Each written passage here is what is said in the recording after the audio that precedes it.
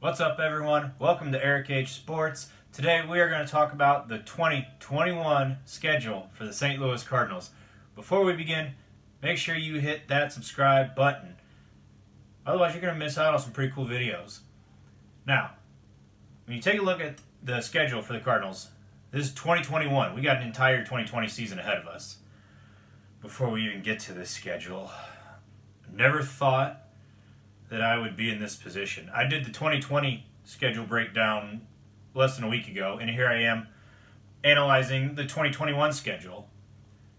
I never thought I'd be in a place where that's a thing, but COVID.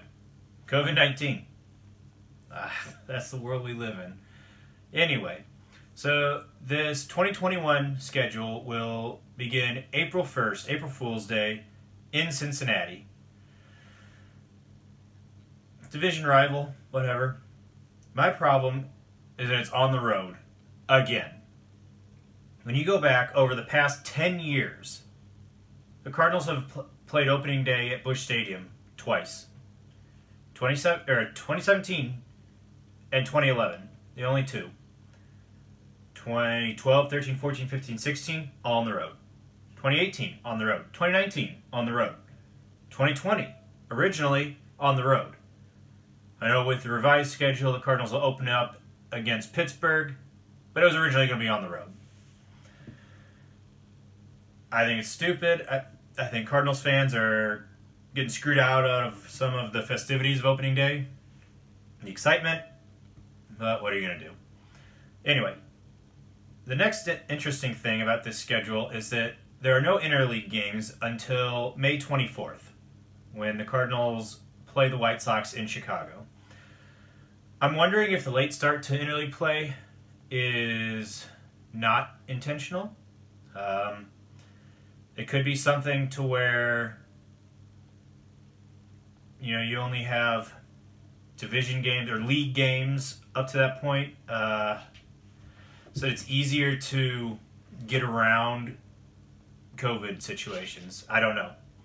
Maybe it's a coincidence. I, I'm not really sure anyway, as you, you go through the schedule, you'll notice that for interleague, the Cardinals only play AL Central teams, and I think that's a smart thing to do for similar reasons. COVID. Just like the Cardinals and all NL Central teams are only playing the AL Central this year. Keep things regional. Better safe than sorry, especially because it works. It works out. Now, as you get into June, you'll notice the 11th, 12th, and 13th of June, the Cardinals are scheduled to play the Cubs on the road. I'm wondering if that's Major League Baseball leaving the door open for a possible London series. I don't know. Uh, I'm inclined to say no because you look at June 13th, that'd be the Sunday game in London, if it were in London. Well, the very next day, the Cardinals play the Marlins in St. Louis.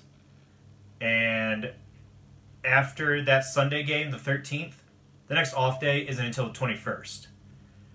And speaking from experience, travel between the United States and London, you need a day off. That's rough.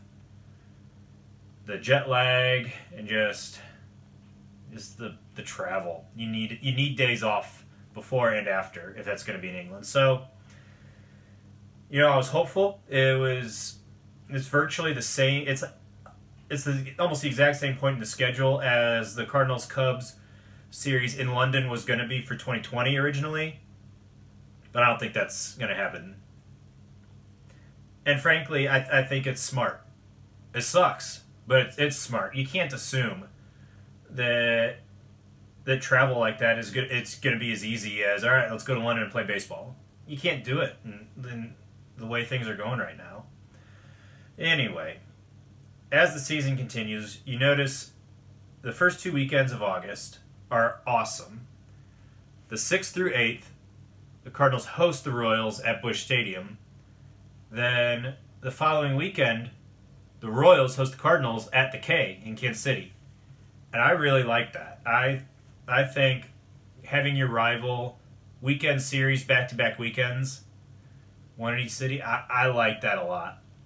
You know, I was I was a fan of the four game series split between the two cities against the designated rival, to where the Cardinals and Royals, or you know, for New York teams playing each other, Chicago teams playing each other, L.A. Angels and Dodgers playing each other, Rangers, Astros, all all those rivals playing two games in one city, going to the other team's city, and playing two more. I like that.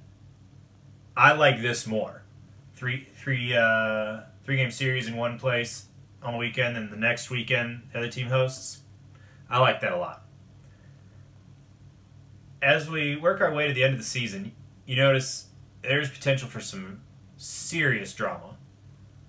The final 13 games of the season, beginning on September 20th for the Cardinals, will be at Milwaukee for four games, at Chicago for three games, following a day off, three more games against the Brewers in St. Louis, and then the season ends with three games, first three days of October against the Cubs. Final 13 games of the season are against the Cubs or the Brewers. There is some serious potential for serious drama. So that's what almost a year and a half away, but uh, it still is exciting to look at. Anyway, that's that's my look at the 2021 Cardinals schedule. What do you think? Leave me some comments. Let's talk about it. See you next time.